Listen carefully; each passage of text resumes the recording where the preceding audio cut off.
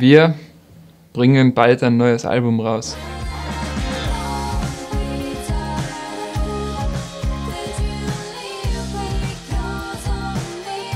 Also was dieses Album vom vorigen Album unterscheidet, ist vor allem der Punkt, dass wir zusammen das produziert haben, also die ganze Band. Beim anderen Album, bei Expired Warranty, das war eigentlich nur ein Solo-Projekt von mir und von Produzenten von Active Sound Records, von Patrick Schmieder, wo wir Studiomusiker ins Studio geholt haben und damit dann das Album eingespielt haben.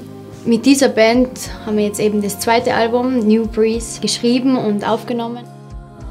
Als Grundbasis für der ganzen Produktion, für der ganzen neuen Platten, ist wirklich das Live-Projekt MIM jetzt im Vordergrund gewesen. Wir haben eigentlich gut eineinhalb Jahre damit verbracht, die Songs zu schreiben. Vor allem hat die Mimi sich dazu entschieden, äh, hauptsächlich mit mir Songs zu schreiben, so Songwriting zu machen. Und es war äh, ganz, eine, ganz eine coole Geschichte. Es sind über, die, über den Lauf von anderthalb Jahren sehr viele coole Songs entstanden. Manche davon haben wir wieder weg, weggeschmissen, manche haben wir dazu getan. Wir haben am Anfang probiert, eigentlich die ganzen Songs einmal ohne großen Schnickschnack, ohne zu viel Soundzulage äh, live herzubringen und wirklich akustisch zum Klingen zu bringen, bevor wir nachher im Studio beim Benny daheim den ganzen Producing-Vorgang irgendwie mit eingebunden haben. Und da sind wir dann drauf gekommen, dass sich am Sound noch doch einiges zu ändern hat, weil wir das Ganze einfach sehr akustisch davor angelegt gehabt haben. Ähm, und es ja doch eher Richtung Elektropop geht.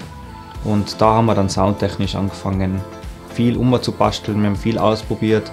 Wir haben uns sehr oft getroffen, wir haben mal eine ganze Woche im Studio verbracht ähm, und haben da einfach sehr viel umprobiert. Die Songs für das Album sind entstanden eigentlich durch Zusammenspielen. Also natürlich haben Chris und Mimi die Songs geschrieben, aber wir haben sie zusammen mit der Band ausgearbeitet. Das sind alles keine Studioproduktionen in dem Sinn, sondern entstanden sind die Songs durch Zusammenspielen. Also wir haben uns erst an einen Song herangearbeitet, wir haben ihn zuerst schon mal gespielt und dann haben wir uns überlegt, wie, wie soll denn der Song klingen. Zu jedem Song hat es ein Demo gegeben, das was wir zusammen in meinem Keller produziert haben und dann sind wir mit, mit einer fertigen Songvorstellung zum Patrick Schmiederer ins Studio gegangen. Dadurch, dass eben so viel Verschiedenes einkommt, jeder bringt so irgendwie seine eigenen musikalischen Einflüsse mit und hat ganz andere Zugänge da und ganz andere Inputs. Es unterscheidet sich eben dadurch, dass es jetzt von Soloprogramm zu Bandprogramm, also zu Bandprojekt übergegangen ist.